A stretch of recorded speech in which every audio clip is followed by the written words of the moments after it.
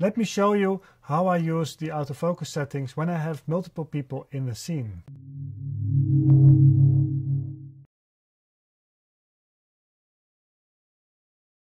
Welcome to Lumix Academy.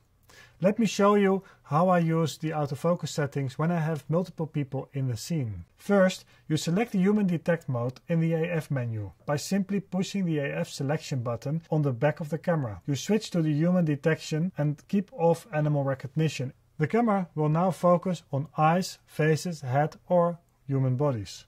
The camera detects all faces in the frame automatically and selects one of them indicated by a yellow frame. With Lumix cameras, you can use the joystick on the back of the camera to toggle between different people in the frame recognized by the human AF autofocus. If you don't want to use the joystick of your camera, you can also very handy touch the person in your touchscreen uh, that you want the camera to focus on and automatically the camera will follow that person.